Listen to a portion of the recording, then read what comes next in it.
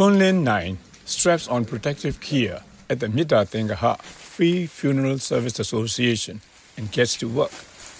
The 13 year old has been transporting corpses to crematoriums across Myanmar's largest city, Yangon, since last month.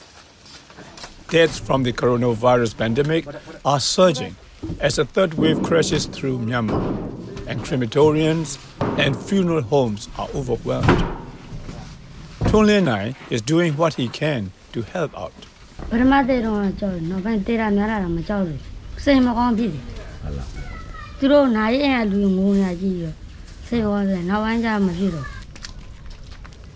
Tun Lin Naing's family lives in the poor section of Yangon near the Mitta Tengaha Free Funeral Service Association headquarters.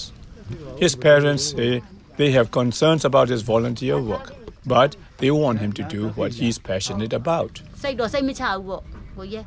ကိုသားသမီးဆိုတော့သူများကြီးဖြစ်နေကြတော့ဒီလိုမျိုးသူလည်းဖြစ်မှာဆိုလို့တော်တော်တော့မေတော့သူကျမ်းမာကြီးကောင်းကောင်းနေတော့ဟောက်ဆံဖြစ်ဘူးပြီးတော့လဲသူတို့နဲ့လှုပ်တူတူလှုပ်တဲ့လူတွေကလည်းဟိုဒီလိုမျိုးတွေပေါ့နော်လက်ဆေးတာတို့ဘာတို့မတ်တွေပါတွေလည်းတေချာတက်ပြီးပြီးဝစ်စုံတွေတေချာဝစ်ပြူဆိုတော့ကိုကနည်းနည်းတော့စိတ်ချရတီးတာပေါ့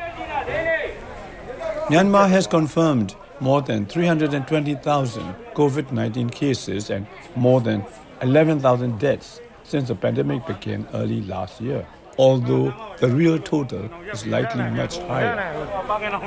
The vaccination campaign by the nation's military government has been largely ineffective due to public distrust of the junta and doubts about the China provided vaccines.